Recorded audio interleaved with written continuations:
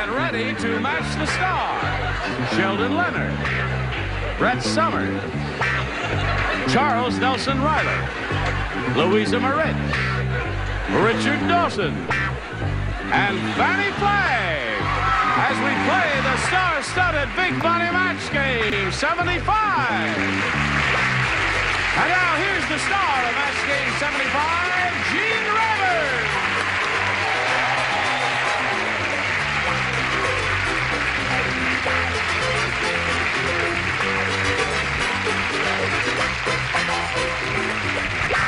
Thank you. I was just wondering what all the screaming and hollering was about when I came to you, Fannie. And I see what it is now. Who is that? Rose over her ear. That's my oldest son. Oh.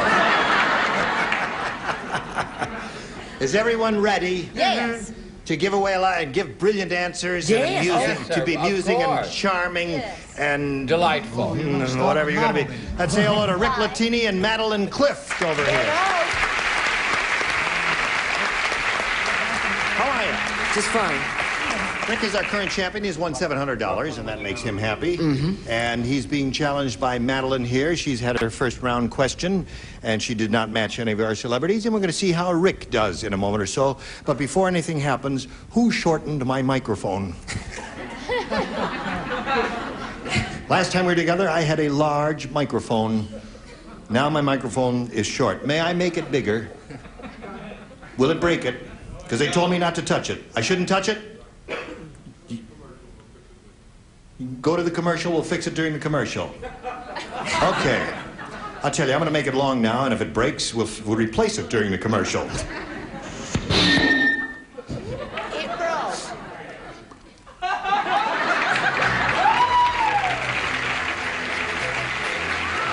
They have to prove it. Hello there. We were just having a deep discussion about the anthropological effects of genetic mutations on the. I know. Listen, are you ready to begin? Uh-huh. Here we go. Second half of round one. Rick, this is your first round question. Everyone plays. Dr. Hackham, the surgeon, said, he said, When I go hunting, I carry a rabbit's foot for good luck. When I'm operating, I carry a lucky blank. That's what Dr. Hackham, the surgeon, said. Why, When I- oh, honey, I don't like that Now, this question. I don't like the question either, but it's the only one that came out of the oh, slot. Oh, okay. Go ahead. Dr. Hackham, the surgeon. Right, Harry Hackham. Harry Hackham, you know him well. When I go hunting, I carry a rabbit's foot for good luck. You know, that's a common emblem. But he said, when I'm operating, I carry a lucky blank. Kiss me, you fool. lately. You haven't done any operating lately? I forgot what you're supposed to carry. Well, for a rabbit's foot is for good luck, you see. Right. But when he's in the operating room, You carry lucky. yeah. You know, the first round questions are a little difficult. And they're really kind of wide open, so whatever Wide comes to your mind, just what? think in terms. Here is this guy in the operating room, and he's got in his pocket. All right. Okay, put that in the slot. What have you got? That's good. Oh, Very no. good. I'm not laughing at my answer. I'm Yeah. laughing at this. Are you finished writing yours? Yes, oh, I'm all through. Are we waiting for me? You're waiting for Put you, gravy waiting for you for is what we're doing. We're coming over here to Rick now that all the lights are lit up there. Rick, Dr. Hackham, the surgeon, said when I go hunting, I carry a rabbit's foot for good luck. But when I'm operating, I carry a lucky blank. Scalpel. Lucky scalpel? Says he carries a lucky scalpel. Okay, what do you say? You know, your logical mind is going to defeat you in the long run. That's right. I Scalpel was logical, wasn't it? Very logical. I figured that uh, he carried another part of the rabbit. Another part of the rabbit. We've just canceled your series, Sheldon. what do you say, Brett? You know I started to write scalpel, and I thought, well, nobody's ever going to say scalpel. That doesn't make any sense. So I said he carried a butcher knife in case of an emergency. Carry a lucky butcher knife, Knife. eh? Lucky butcher knife A in lucky case of butcher an em- in case of Oh, an well, emergency. you kinda had so far, there. we're rolling along. I have a great answer. Penny! A lucky penny. lucky penny is not bad. I mean, don't be a lucky penny. Isn't that a common? You hit me right in the blank. Long microphone. That's right. Now, Dr. Hackham, the surgeon, said when I go hunting, I carry a rabbit's foot for good luck. When I'm operating, I carry a lucky scalpel, according to Rick. Well, he's hunting, he's gonna kill a rabbit, right? Maybe. So he's carrying a part of the rabbit. So here, when he's in the surgeon, he's gonna have a part of the human. So I said he carried a lucky. Okay? Someone kissed me and I woke up. Okay, lucky bone. oh, I hope I never ever get to understand her answers. and I know I am down the road to ruin. What do you say? He was called Dr. Hackham Dr. Dr. he did have a drinking problem. Yes, he did. And when he went hunting, Yeah. he used to carry rabbits. That's right. Right? And when he was operating, Right. he always carried a lucky lager. A lucky. Okay. You're losing, Rick, but you're having a great time, right? what do you say, Fannie? Lucky bone. Lucky bone. That's hysterical. The, the real answer is gallbladder. Yes, right, indeed. Not gallbladder, you know, appendix, gallbladder, all of those things. A lucky gallstone, uh, I uh, wish I'd any of gone those with things my would be good. original answer. Okay, got a real, two real competitive people here, as you can see. Okay, Madeline, what do you want then? Uh, A, please. A for Madeline.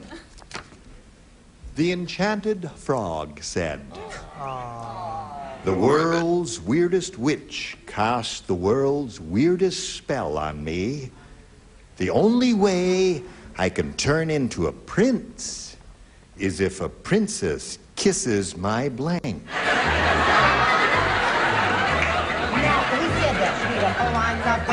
those, those? Is that a fairy story? This is the traditional, ordinary Fairy story? Yeah. Oh, okay, The do enchanted frog said, "The world's weirdest witch No, cast the world's weirdest please, spell on me. The only way I can turn into a prince Is if he is if a princess blank. kisses my blank." Honey, I've got it. You don't have to explain it to me. I had it all the time. Who's this talking? Who's this, now, who's talking? The frog? The frog, you know the traditional story Hi, hon. about the enchanted frog?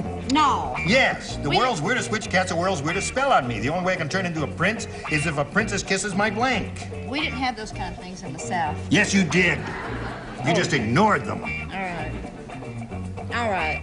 Got the idea? Uh, not at all. Yes, you have. Honey, I think you should go home and do your roots, Fannie. Oh, yes. Oh, indeed. Well, the only thing is, uh, I don't have to send mine out.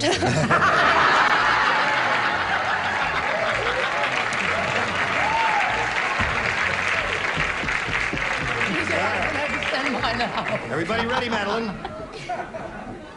The enchanted frog said, The world's weirdest witch cast the world's weirdest spell on me. The only way I can turn into a prince is if a princess kisses my. I don't even want to say it. Warts? Oh, warts. Kisses my warts? Kisses my warts. Well, frogs have warts, don't they? Or give them, or whatever. What do you say? All right, Madeline, you must come to the house for dinner sometime. We seem to think alike. Oh, hey! And the audience likes you too. All right, Sheldon, we've reinstated your series again.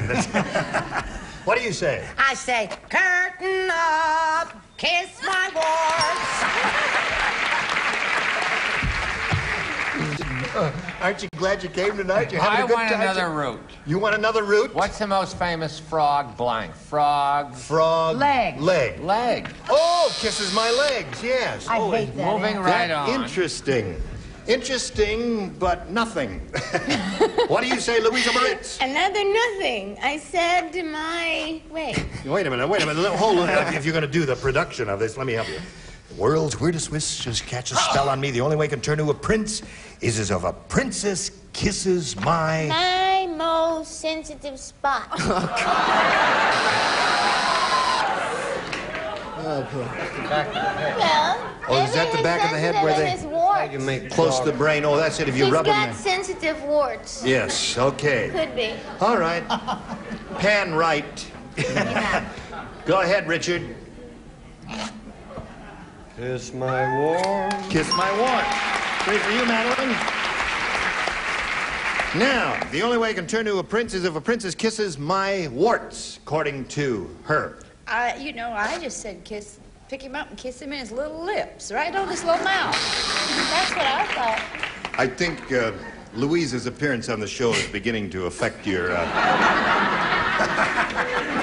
so, middle of round two, she's got three. When we come back from this commercial, you're going to have to match three to stay in the game, four to win. Come back and see what happens. Ready? Okay, second and final round, Rick. Last chance. Yeah? Three to tie, four to win. Mm-hmm. Ed's neighbors were shocked when they saw his new weather vane. Ed made it by taking a steamroller and flattening his blank. That's how he made his new weather vane. No, a weather vane doesn't go like this. A windshield washer goes like that. Well, a weather vane is usually a rooster on top of the church steeple. And the rooster is sitting there like this with his wings. See?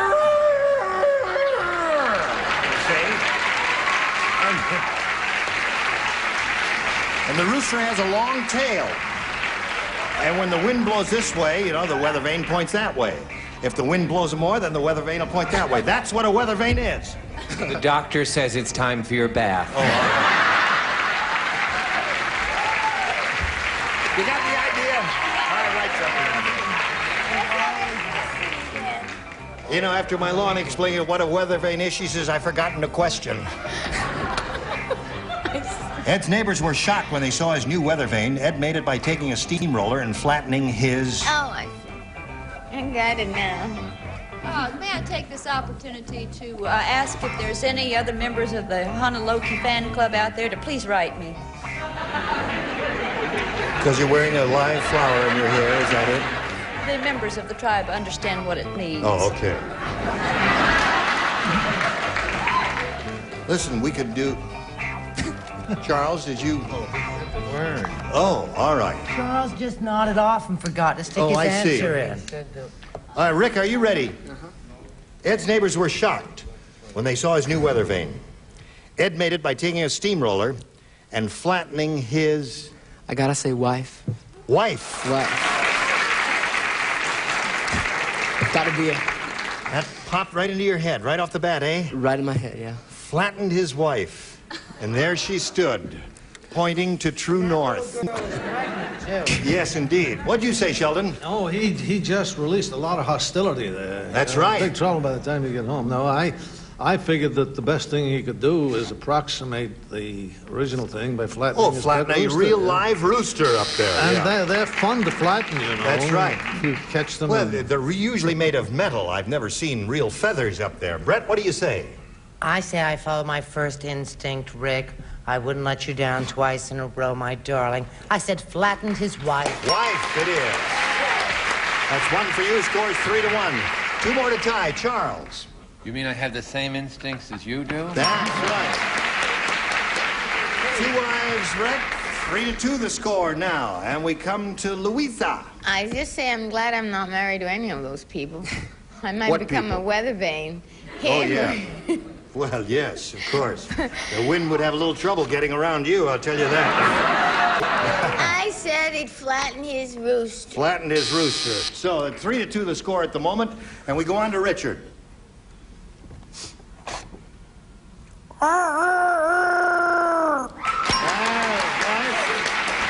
Tie score. One more skinny wife wins the game. Oh, did you know that my Uncle Cheese was run over by a steamroller? No, what happened to him? And they called and they said, Aunt Bess, they said, Cheese been run over by a steamroller. And she said, oh, and that awful, just slip him under the door. I said rooster. Rooster. Yeah. So we got a tie score, and we'll tell you what happens when we have a tie score right after we tell you about this message of interest. Okay, here we go. We've got a tiebreaker, so we just wipe this slate clean. Everything goes back to zero here. And with my magic finger, I push this red button and reveal one tie-breaking question for each of our participants. Who put this old nail, a bent nail here, on my podium? Would anyone like a bent nail for a souvenir of his appearance into the thing? There you go with a bent. Now, the one who scores the most will be the winner. Uh, Madeline, we'll ask you to make your selection first. A, please. A it is. We ask you to make the selection because some of our contestants find some questions harder than others, and it's entirely up to you. Here we go, tiebreaker. Roy Rogers bought a new car with an extra large trunk. Roy keeps blank in it. Oh! Roy Rogers bought a new car with an extra large trunk. Roy keeps blank in it.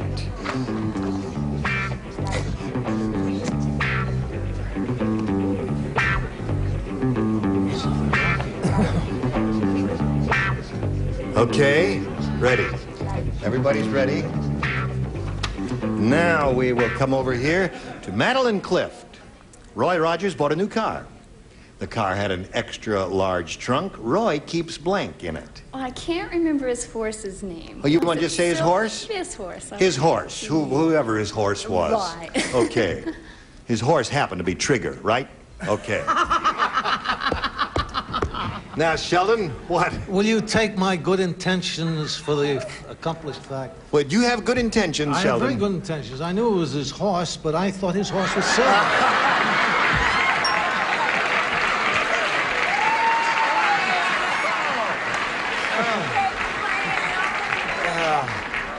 Well, he his heart was in the right place, Madeline. In what part of the horse's anatomy did Yes. you place my heart? But I do hope you'll remember that it was Sheldon Leonard who torpedoed you in case. So- what did they count it? Oh, they counted it. Oh, yeah, because he really, his intention was the same. Well, that's very fine. No, not Captain Midnight. That was Roy, uh, uh, uh, Gene uh, Autry. uh, the Lone Ranger's horse was silver. Oh, I thought the horse's name was Tonto. like that. He did the best thing in the whole world. He said he was muttering as he wrote it down. He said, "Gee, I don't know whether she's going to remember this or not." He wrote down silver. You're fading fast, Sheldon. I said trigger. Trigger. uh, Two for you, Madeline. Hello, Charles. What are you looking for, Charles? What am I looking for? What? I've Yeah. had it all my life. What? What, darling? My good luck bent nail. Did you see it? No. Trigger! Trigger! That's the best dog Oh, it's madness, I tell you. What do you say there, Louisa? Do you know what's really strange? I What's was, strange? I was going to put the same thing that Sheldon put. Silver? And I felt so silly, and I said, well, I'm not sure that's the right name, so I put his stuffed horse. His stuffed horse, yes. Okay. That's four for you, Madeline. Now, here we go. Richard, the lady's looking for a little horse. So what? What's the question? The question? is Roy Rogers bought a new car with an extra large trunk. Roy keeps blank in it. Trigero. Trigero, five for you. All right, started out, looked like it was going to be a disaster, and so far it's been pretty good. Now we come to the disaster. Hi, uh-huh. Hello there. Happy trails to you. you remember Bullet? I was crazy about Bullet. Yes. However, Bullet was a dog, right? Oh, yeah. Yes. Pat Buttram, I know all those things. but you know, I made a mistake. I thought he kept Dale back there. Dale. I told you we'd get to the disaster sooner or later, and that was it. All right, Rick, are you ready for the tiebreaker? Here we go. Mm-hmm. One psychiatrist said to another, Remember my patient who thought her husband was a pumpkin? Well, while he was sleeping, she made him into a blank. One psychiatrist to another. Remember my patient who thought her husband was a pumpkin? Well, while he was sleeping, she made him into a blank. Do we have to hurry? Yes, we have to hurry along Oh, a little good, bit because I'm all because we through. want everything to come out even at the end of the allotted time. We are waiting for Charles. There we go. Now, ah. Rick, it's up to you. One psychiatrist said to another, "Remember my patient who thought her husband was a pumpkin? While he was sleeping, she made him into a Uh, pumpkin pie. a pumpkin pie." Gonna need five pumpkin pies to tie. Sheldon, Well, you got one of them. there's one pumpkin pie. Five to one the score. Brett. Oh, let's have a party. Here's two. There's two pumpkin pies. What do you say, Charles? The bent nail tells me pie. Pumpkin pie. Three pumpkin pies. What? A prince. A prince. I, I don't even know what that means, and I'm certainly not going to ask. Richard. The wife made him into a Halloween lamp. A Halloween lamp. So that means Madeline Clift wins the game. What do you have, Fannie? A lantern. Congratulations to you. Stand by for a moment now. While we talk to Rick Latini, he's going to be leaving here with a total of $700, and our congratulations, Rick Latini. Bye-bye. He's spinning off. We'll spin this message for you, and you hurry right back. Do you think you can say goodbye in 10 seconds? Goodbye in 10, Ten seconds. Goodbye. Goodbye, goodbye. Goodbye. Cheerio. Ten seconds. Goodbye. Can you say it? Goodbye in 10 seconds. Goodbye in 10 seconds. Gene Rayburn here, Match Game 75. Goodbye.